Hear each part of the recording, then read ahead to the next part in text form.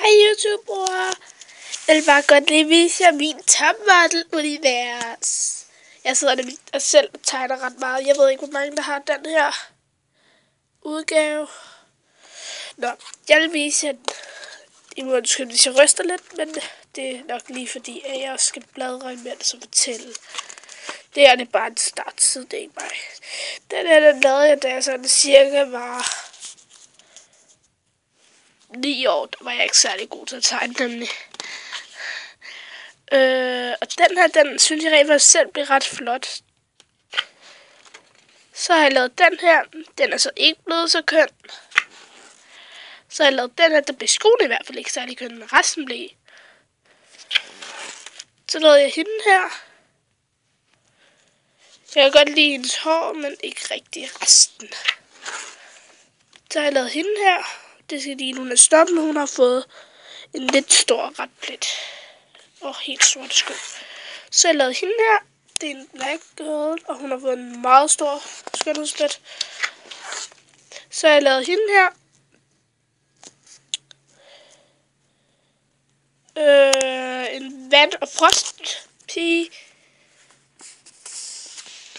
Det er sådan her, så har hun sine to monstre, som slår ihjel.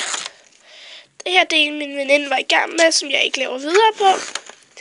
Det er det så blodpigen. Hun har sine to monster, som slår ihjel. Og så har jeg skyggepigen. Jeg synes, det ligner meget godt, at en skyggepige at være. Så har jeg lavet blomsterpige. Solpige. Westpi, Rheinbupi, Werderspi, Datepi,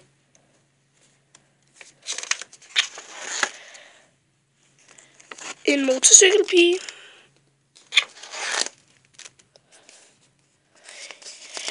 En badepige som jeg ikke har fået farvelagt endnu.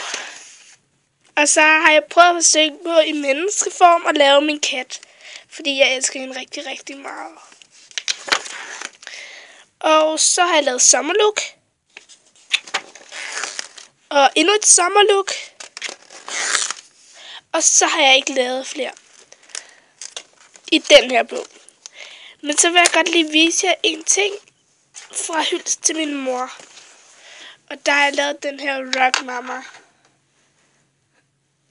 Hvor jeg har givet hende en leoparddragt. Og så står der So Rock Mama. Uh, I love you, I love you, I love you, og Rock Mama. Og leoparddragt, men jeg staver ikke særlig godt, jeg er ordblind. Så I får lige hurtigt set hende.